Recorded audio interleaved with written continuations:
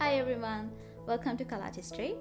So today I thought of doing a small tutorial on Artflow. So I've been using Artflow for quite some time to do most of my digital art.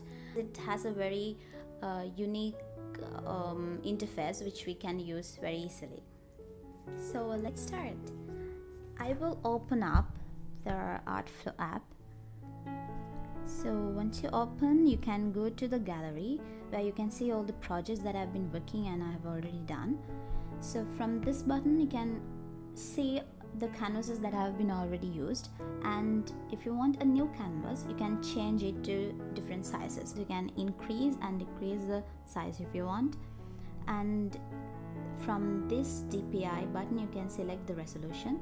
From the presets you can select whatever the size that standard size that you want. Especially if you want like uh, f4 you can go to this one. Or there are few photo frame sizes where you can select. So i will open up this one. This is a project that i have been already working on. Uh, so from this one i will explain all the necessary details. This is the canvas area. And from here you can see the toolbar that uh, contains all the tools and everything. But this toolbar tends to come and go when you start drawing. So I feel it's kind of little annoying and uh, so what I do is I just pin it. So if you can see this pin that means the toolbar is there for the rest of the drawing. And uh, explaining about the zoom in and zoom out you can use two, your two fingers to zoom in and zoom out. So the important part is that you can see how much how far you can zoom in and zoom out from here. And also you can rotate the canvas. That even you can see in this small thing you can see that uh, the amount that you're going to rotate and the angle that you're going to rotate. And this is kind of cool because I think um, you can zoom in as much as you want and you can lock it which is really easy so that you can not zoom in zoom out or rotate the canvas. So you can do the drawings easily in a very zoomed area. Top of your left hand corner you can see there are two squares. So this is the layer button. There is this add-on button. You can add few layers. But the thing in this artflow is it's sort of a free app but still there are few restrictions. There are two things that you can do to overcome this one is you can just purchase it. So it'll be about eight dollars 8.48 dollars. So you can just get the ProLizen Art Flow package for that. But what I do is I just unlock these by watching an ad. Right. So the ad is on. So you can add more layers to it as you can see just keep in mind that you have to do this every day before you start your drawings. So this is the layer palette and you can just add on few layers to it like this. So this is basically like Photoshop. The important thing is you have to select the layer before you draw it. So I'll just do a small example. So you just select the layer and draw and then again another layer. You destroy it. Another layer.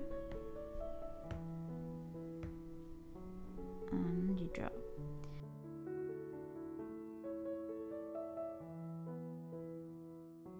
If you want to reorder the layer you just have to hold press and hold it and then you can change the order of the layers like this so again same as photoshop. And also you can turn off and on the visibility. So for instance you just have to press this eye icon. So you can see that the layer is turned off and turn on. And also you can lock the layer. You just have to go to the layer bu button and then there's a lock button so you cannot just draw on a lock, locked button like that. So I'll do a, a separate video for the layers in my future videos. Now I'll explain about the brushes. So you can see here this icon with the brush. So here there are different type of brushes like pen fine pen and pencils and different shading brushes and everything. So in the first one you have all the pens where I normally use to do the outlining and maybe just fill colors. And uh, the second one is the pencils. So these pencils I usually use to do the sketching in the tab. And here also you can see the charcoal. There are different textures different uh, thicknesses to the brushes. And in here this one is also the same because they have this uh, furry watercolor messy watercolor effect. So these I usually used to uh, fill the background of a portrait or something. The next set of brushes are really important because these brushes I'm using to do the shadings and you know to get a kind of a depth to the drawing. So these ones I use very frequently but the last icon you can just customize all the brushes but still it is in a lock position so you have to pay to get that option if you want. Next to the brushes there is this eraser tool where you can just select and do the eraser.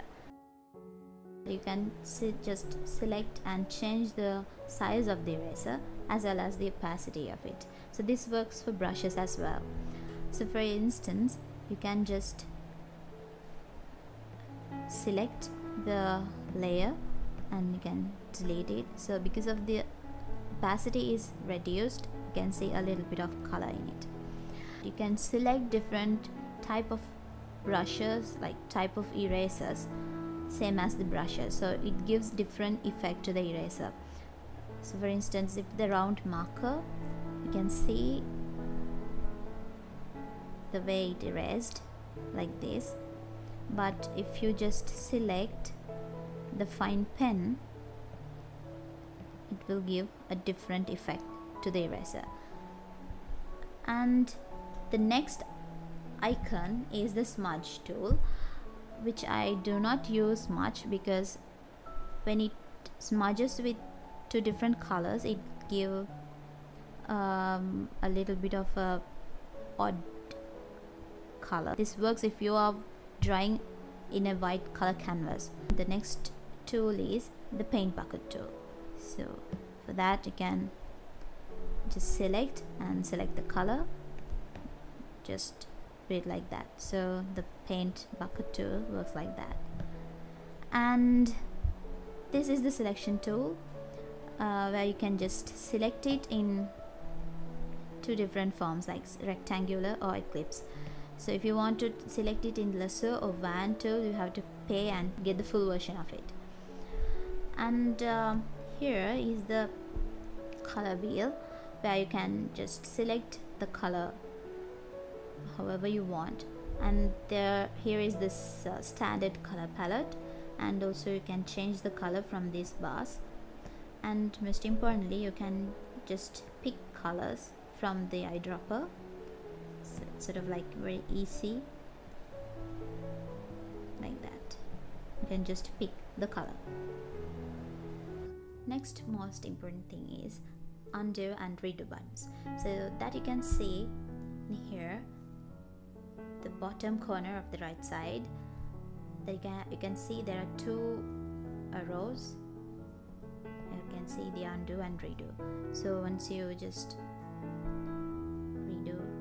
undo it you can see that everything is goes and this is the redo button. So here also we have a limitation for the day that you cannot undo or redo a lot but once you unlock it by watching the ad or once you purchase the full pro app you can just do it. So that's the end of the tutorial one. Just let me know if you have any other questions regarding the artflow app. Comment below and see you from the next video. Thank you